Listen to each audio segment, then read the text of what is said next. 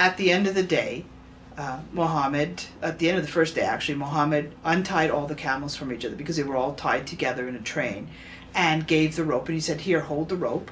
And I'm like, okay, I thought he was going to go and do something. And yeah, he did. He untied all the camels and then gave us all the ropes and said, go. And we're like, go where? He said, go. You get these camels wandering around and trying to stop and eat, and sometimes they'd go down on their knees.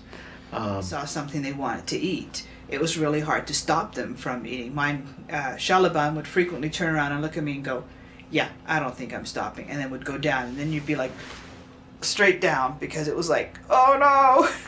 Um, and I can see that there's this drop. The old road has this like two foot drop uh, ahead of us. And I really don't want to uh, sort of go into All four camels almost simultaneously, like they have camel mind or something, decided that they were going to go down that little tiny section of road that was still standing all at the same time. So they're just all running and we're all so going. we're all wearing our our, our headscarves and everything, and Lisa's at the back says, you know, she can just. It's like a Lawrence of Arabia moment. There's a, clouds of dust flying up. Our headscarves are flying in the wind as we all hit this narrowed section of road where it drops two feet and go plunging over the cliff.